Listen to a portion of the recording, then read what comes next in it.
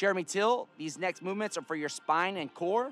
The core is very important for overall health of the body. Make sure you engage midline by drawing your belly button to your spine and hold for the recommended amount of time the video suggests.